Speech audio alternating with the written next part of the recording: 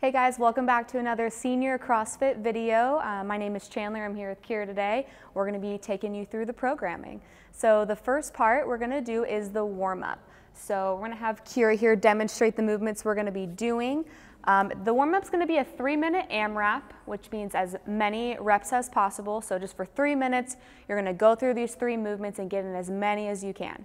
So the first movement we're gonna be doing is three push-ups. So just for the warm-up, we're gonna have you do a modified push-up. See, she's at an angle here. Her wrists are, her hands are turned out for V for victory. Her elbows are coming in at her side. And then she's going all the way down and pushing up. You can go halfway down if you'd like and then back up. You don't have to go all the way down. She'll demonstrate that real quick if that's a little bit easier for you, or more attainable.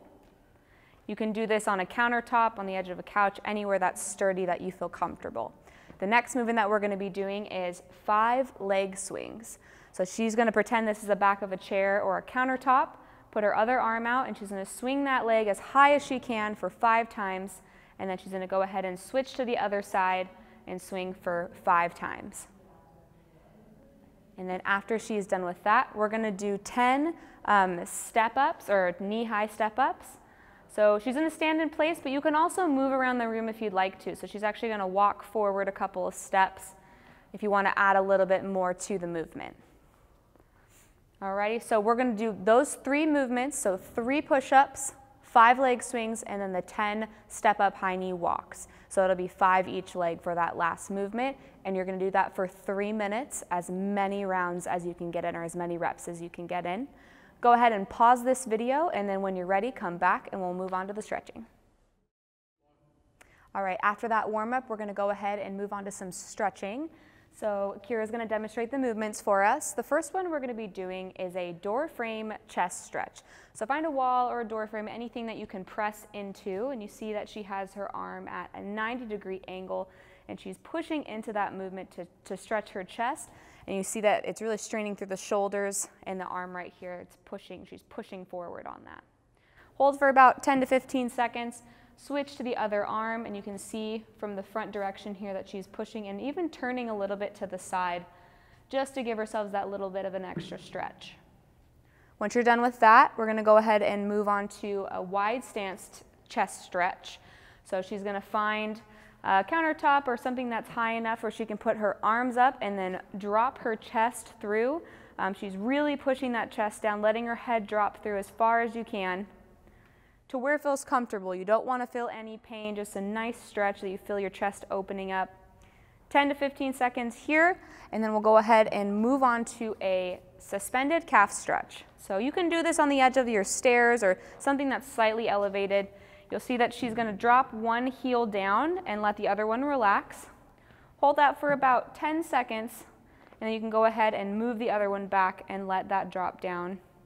If you want to, you can go do this two times through. It does feel pretty nice. Make sure you have a wall or something for stability while you're doing that movement. And then the last stretch that we're going to be doing is a quad stretch. So you see she's using uh, this our makeshift wall for balance. She's grabbing the back of her foot and pulling it up so that her knee is in line with her other knee. That is the RX way to do it. If you're super flexible, you should be able to. If not, use a chair to help your, uh, grab your foot up. If you need to put that foot up on the chair first and then grab your foot to pull it, uh, you can do that as well.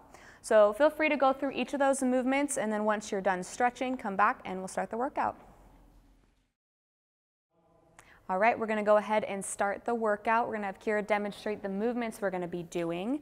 And the workout of the day is a Tabata. So we've done this before. We're gonna be doing eight rounds of 20 seconds on for the movement and a 10 second break.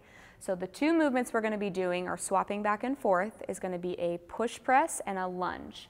So Kira here is demonstrating our push press. You'll notice her elbows are slightly in front of the bar. Her hands are outside her shoulders. She's dipping slightly and then pushing that bar up off her chest over her head. Remember to bring that chin back as the bar is coming up and push that head back through. We want to make sure that the bar is staying in line.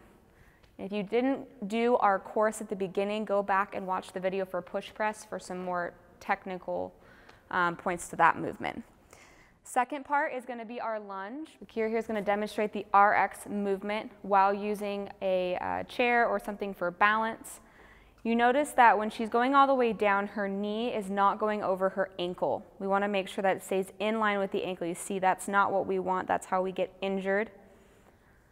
And if going all the way down is too hard for you or you do have a pre-existing injury, please only go halfway or to where feels comfortable for you, where you can get all the way back up safely. All right, after you finish up that workout, um, feel free to do some cool down stretches with us. I'm gonna have Kira demonstrate what we're gonna be doing. The first thing that we're gonna do is a head tilt hold. So she's gonna bring her arm to the opposite side of her head and then pull her neck slightly um, towards the arm that she's using just to create a stretch right through here. Hold that for about 10 seconds and then go ahead and switch to the other side. If you need a little bit more of a break to catch your breath, go ahead and do that two times through. And then after that, we're gonna go ahead and do shoulder circles. She's bringing those shoulders up towards her ears and then back down her back. She's squeezing tightly. Do that five backwards and then five forward. And then after we get through those, we're gonna go ahead and do a seated roll. So this is gonna be our chair for right now. She's gonna go ahead and breathe in, reaching up to the sky, and then she's gonna roll forward down as far as she can go, letting out that breath, holding there for a second or two, and then rolling back up, reaching towards the sky. And then we're going to go ahead and do this five times. Only go down as far as is comfortable for you. If you feel dizzy at all, don't go down as far um, if getting up and down is too much. Alrighty, so after five of those, we're gonna do our accessory movement.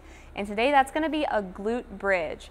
So Kira's gonna demonstrate. Please use a couch or a chair or anything to get down on the ground onto a carpet or a soft surface.